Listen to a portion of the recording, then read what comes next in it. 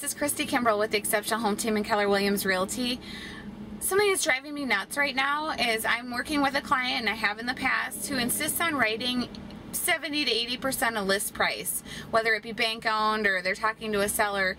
If you're talking to a regular seller, it's really not going to happen if it's if you're listing if they're priced at 200 and you want to offer them 140 it's just not. If they were that serious about getting it sold, they would be doing price reductions. They certainly, before accepting a 140, would probably drop it to a 175 rather than sitting at 200.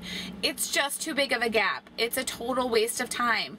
Stop doing it. Stop making your agent doing it. If you're considering doing that, you can try it with bank owns. You won't get anywhere, but at least you're not going to stir the pot. Um, you know, I wouldn't even do it myself um, to get my own deal. That's how unlikely the success ratio is. So search for properties that are priced well. If you're, you're going to be in multiples when you get there, know the market or be with an agent who knows the market and can tell you what the right value is and what an amazing deal one can be.